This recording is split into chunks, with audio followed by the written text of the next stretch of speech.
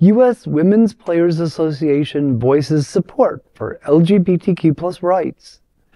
The U.S. Women's National Team Players Association released a statement backing LGBTQ rights amid a controversy involving midfielder Korbin Albert's anti-LGBTQ TikTok post.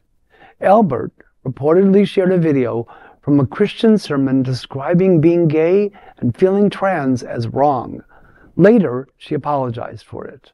This week's statement by the association did not mention Albert's name directly, but said, quote, the women's soccer community is one of joy, excitement, kindness, and love.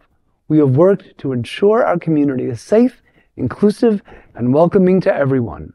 As allies and members of the LGBTQ community, those efforts will not stop, end quote. It came just hours before Albert's appearance as a substitute for the national team in the SheBelieves Cup final against Canada.